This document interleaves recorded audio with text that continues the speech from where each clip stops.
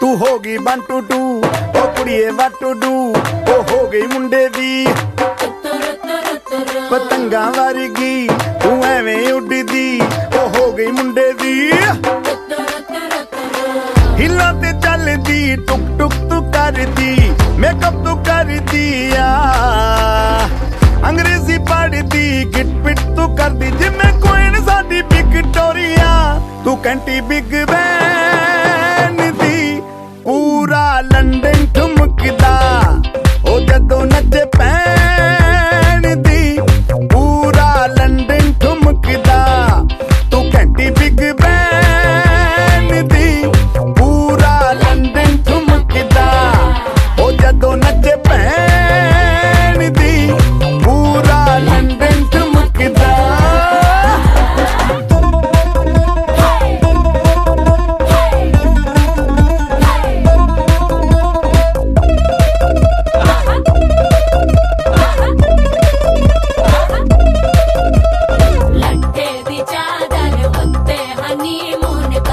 yeah.